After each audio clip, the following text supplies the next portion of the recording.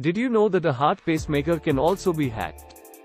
As with any electronic device that uses wireless communication, there is a possibility that pacemakers could be hacked. Pacemakers are medical devices that are implanted into the body to help regulate the heartbeat. They use electrical impulses to keep the heart beating regularly. In recent years, there have been concerns about the security of medical devices, including pacemakers.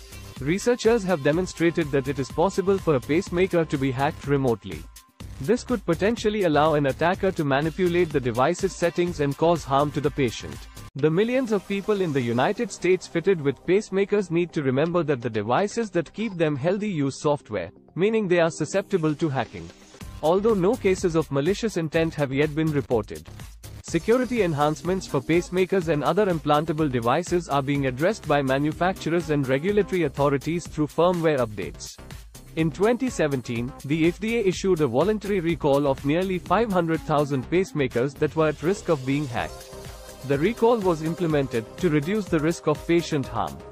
Hacking is definitely something people with these devices need to be aware of and know that it is a possibility said Slotwiner, who is chief of cardiology at New York Presbyterian Hospital Queens and has written about potential cybersecurity issues with these life-saving technologies.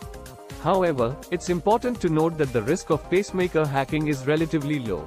Additionally, most pacemakers are designed with security features to prevent unauthorized access. In conclusion, while the risk of pacemaker hacking exists, it is relatively low. Patients with pacemakers should continue to follow their doctor's advice for care and maintenance of the device, and report any concerns to their healthcare provider.